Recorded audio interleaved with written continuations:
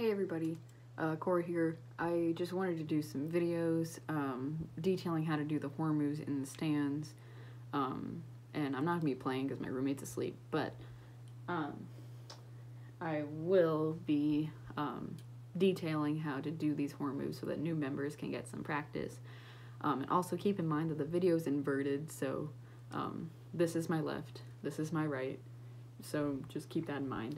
Alright, so in fanfare, I believe, does not have horn moves in the stand. Returning members, correct me if I'm wrong. It's still early in my head. So I'm going to move on to the Missouri Waltz. And in this, the first thing that they will do before this happens is they will determine up downs and the leader of your row will determine that for you guys and you guys will like look up down um and this will be for the chair step part of the waltz later Typically, we play this after the first quarter is done. Um, and you don't do this during pregame, but any other time you play this in the stands, this will happen. So the first thing that they're going to do is the drum major is going to just start conducting really, really slow. And you're going to start with sway to the left on the da, and sway to the right, da, and then da, and then you're to start swaying to the left and to the right every other beat.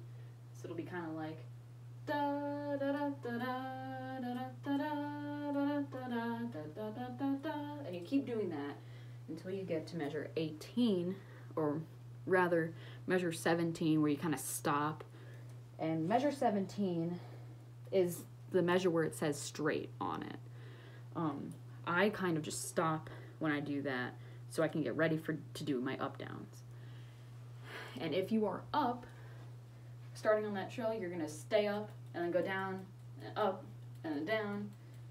And you, you keep doing that in that pattern for the rest of the time. And when in doubt, look at your neighbors left and right. Do the opposite of what they do. All right? And if you are down first, you immediately go duh, and you go down first. And that motion is supposed to be um, yeah, let me get back so you guys can see my feet. So you just keep your feet relatively close to you, then just bend at the knees. It's not supposed to be any like that, anything. Ooh, that popped my knees. Um, it's nothing super bad, just as long as it's a noticeable elevation change, and then it should be fine. Also, don't mind my boobs, I'm sorry. Um, all right. And once you get to the half note triplet in measure 25, that is the last of the up downs you will do for the song. And then once you get to measure 26, you're going to continue starting off left and keep doing the swaying until you get to measure 34 on that G whole note. And you go to the left, down. And you can do like a little bob to keep time if that helps and also kind of, you know, it's aesthetically pleasing in my brain at least to do that. So you can do a little bob down on the left and then for the D, up on the right, do a little bounce, and then on the F, you do a little circle. I typically just do one, some people do two. I'm not really sure if there is a proper way to do that, but circle regardless. Uh, counterclockwise is what I do. Um, I'm not also not sure if that's a thing, but I do counterclockwise. And then for the da da da da, stay perfectly still.